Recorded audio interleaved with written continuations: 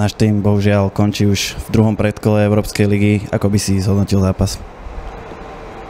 Tak je to sklamanie, pretože si myslím, že, že ten super bol hrateľný a bohužiaľ sa nám nepodarilo streliť gól a chýbala nám možno väčšia kvalita individuálne, možno nejaký moment prekvapenia, keď sme sa tam aj do tej 16 dostali a mali sme akú takú príležitosť, tak, tak sme ju nepotrestali a super nás potrestal hneď z prvej príležitosti a potom sme to už otvorili a už, už to bolo také, že chodil super do tých breakových pozícií a podržal na Zaďochovan.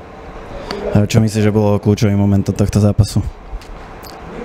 Tak možno škoda tej kubovej šance a myslím, že keby sa nám podarilo streliť gól na 1-0, ten super by to musel otvoriť a hralo by sa určite aj nám e, jednoduchšie, keďže bolo to ťažké, pretože ten stred bol zhustený a keď sme sa dostali aj do krídel, tak tie centre zbierali nebolo to jednoduché sa tam presadiť, ako im chýbal nám taký moment prekvapenia alebo možno nejaká individualita, ktorá by to v tej danej chvíli zobrala na seba a možno premenila. Mrzí toto vypadnutie o to viac, že nás čakal super zvučného mena v ďalšom predkole?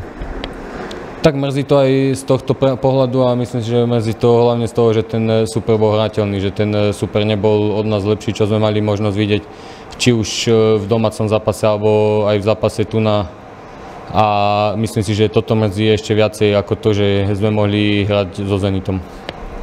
Takže zostáva nám už len sústrediť sa na ligu.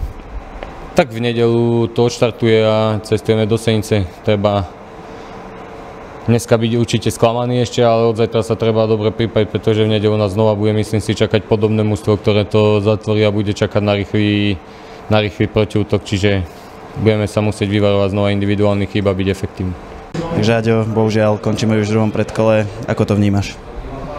Tak podľa mňa to je veľmi smutné.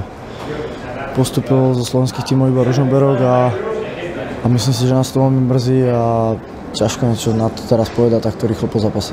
Boli sme málo nebezpeční vpredu a to musíme zlepšiť, nevedeli sme sa tam presadiť a, a keď sme sa presadili, tak možno tam prišla nejaká nepresná prihrávka alebo niečo podobné, čiže to, na tom budeme musieť popracovať. Nemal si stopnutý tam niekedy vybehnúť hore pomaly na roh, keď sa chalani tak trápili?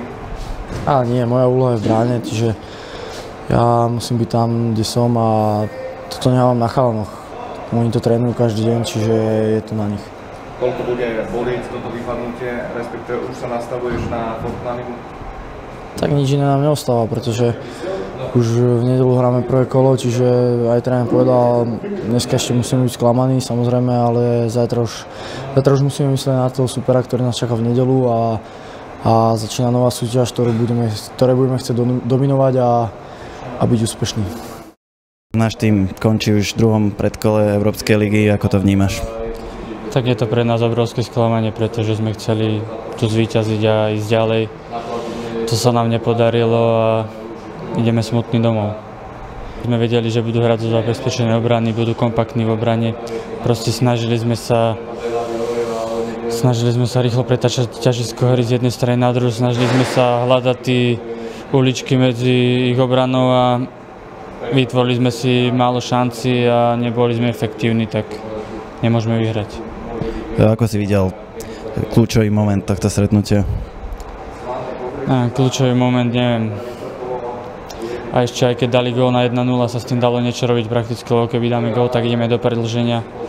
Ale tak potom gól na 2-0 nás už tak povedať zaklincoval a už sa to len dohrávalo.